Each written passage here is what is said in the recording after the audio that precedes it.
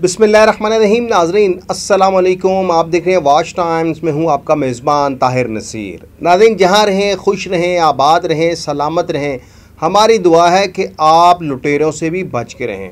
नाजिन आज हम Ponzi scheme या नेटवर्क मार्केटिंग के ऊपर प्रोग्राम नहीं करेंगे। आज हमारा टॉपिक होगा हाउसिंग सोसाइटीज़ क्योंकि आपको मालूम है कि हम लोग वॉच टाइम्स के प्लेटफॉर्म से जितनी भी गैर कानूनी हाउसिंग सोसाइटीज़ हैं, जितने भी वो लोग जो डबल शाह का किरदार अदा करते हैं, उनके ख़िलाफ़ आवाज़ बुलंद करते हैं। आज एक और बड़ी स्टोरी आपको मालूम है कि इस्लामाबाद जैसे शहर में, अब वो मालूम नहीं कि इस्लामाबाद की हदूद लिखती है, पिंडी की हदूद लिखती है, लेकिन अगर कागज़ी कार्रवाई देखी जाए तो रावलपिंडी की हदूद में आती है।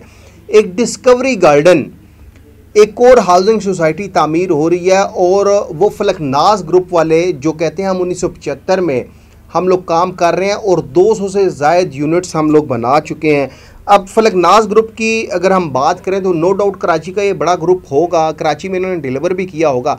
लेकिन इस्लामाबाद जैसे शहर में ये लोग इस्लामाबाद का नाम इस्तेमाल करके लोगों को बेवकूफ़ बना रहे हैं। ज़मीन इनके पास कितनी है? ये लोग दावा करते हैं कि हम ये हाउसिंग सोसाइटीज़ पैंतीस हज़ार कनाल तक लेकर जाएँगे। लेकिन अभी कितनी ज़मीन है, ये इनके जो मार्केटिंग वाले हैं, उनको भी नहीं मालूम। अच्छा यहाँ पे आपको एक बात बता दें कि जो डिस्कवरी गार्डन है, ये लोग दावा करते हैं कि एम टू और Islamabad, new Islamabad international airport के करीब ये वाक़ है और कहते हैं कि कैपिटल स्मार्ट सिटी के साथ है। डिस्कवरी गार्डन की जो लोकेशन है। लेकिन इन लोगों ने ड्रामा क्या खेल रहे हैं? ये पाकिस्तानी स्पेशली ओवरसीज़ पाकिस्तानियों के साथ ये ड्रामा क्या खेल रहे हैं? देखिए, जो ओवरसीज़ पाकिस्तानी होता है, उसका इतना वक्त तो पाकिस्तान में गुजरता नहीं है। वो ज़्यादा अपने बच्चों के लिए, अपनी फैमिली के लिए बैरून मुल्क जाता है ताकि अच्छी तरीके से वो आमदनी कर सके। वहाँ पे पैसा कमा सके। अच्छा ये जो हाउसिंग सोसाइटीज़ वाले आते हैं, ये अपनी हाउसिंग सोसाइटी पिंडी में भी होगी तो उसके साथ इस्लामाबाद का नाम लगाएँगे ताकि ज़्यादा से ज़्यादा लोग अट्रैक्ट हों। अच्छा डिस्कवरी गार्डन वो है मोज़ा मुजाहिद में। मोज़ा मुजाहिद हदूद बनती है रावलपिंडी डेवलपमेंट अथॉरिटी की। लेकिन डिस्कवरी गार्डन वालों का ऑफ़िस इस्लामाबाद में है, ब्लू एरिया में। डिस्कवरी गार्डन अपने नाम के साथ इस्लामाबाद लगाते हैं। इस हवाले से हमने सीडीए के जो चेयरमैन हैं, उनसे भी बात की है। इस हवाले से आपको वो भी अपडेट देंगे, लेकिन डिस्कवरी गार्डन के फ्रॉड की मैं बात कर रहा था। ये लोग कह रहे हैं कि चार साल के इंस्टॉलमेंट के ऊपर ये प्लाट देते हैं। अच्छा इनका प्लाट देने का तरीका क्या है? कि अगर आपने पाँच मरले का प्लाट लेना है तो उसकी कुल मालियत है अट्ठारह लाख रुपया। आपने बुकिंग करवानी है तो चार लाख रुपये एडवांस देंगे। फिर आपने पोजेशन लेना है, कब्ज़ा लेना है, उसका डेढ़ लाख रुपया अलहदा देंगे। अड़तालीस माह की ये इंस्टॉलमेंट हैं और पंद्रह हज़ार छः सौ पच्चीस रुपये पर माह की जो है इसकी इंस्टॉलमेंट बन रही है। एक लाख पच्चीस हज़ार रुपया सालाना, यानी कि चार सालाना आपने पेमेंटें करनी है। पाँच मरला, आठ मरला, दस मरला, एक कनाल। अच्छा एक कनाल का ये रेट दे रहे हैं चौवन लाख और अस्सी हज़ार रुपया। बारह लाख रुपया एडवांस ले रहे हैं, पाँच लाख रुपया पोजेशन का ले रहे हैं, यानी कि कब्ज़े का ले रहे हैं।